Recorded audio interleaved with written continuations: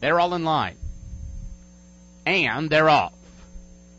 And Flanker's Lady broke on the money and is right up and after the lead. Itsibitsibikini came out well from the outside. Xupal is a close up third. They're followed by Steady Slew, now been passed by My Prefered, who's only two and a half lengths off the lead. And Sophisticatedevent is the trailer pretty well packed behind Flanker's Lady and Julio Garcia as they run up to the half mile pole. It is Flanker's Lady just three quarters of a length. My Prefered is all the way into the second spot. Xupal is down along the rail in third. Itsibitsibikini maybe about three wide into the turn. Then Sophisticatedevent and Steady Slew is now dropped back to trail as they go past the three furlong mark.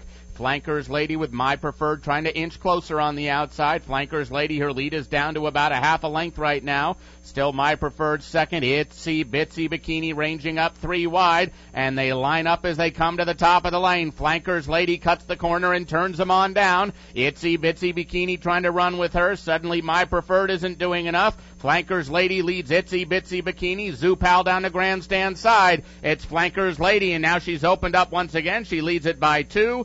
Itsibitsibikini there in second. Then Xupal. It's Flankers Lady wire to wire. Itsibitsibikini second best. Xupal and Sophisticatedevent.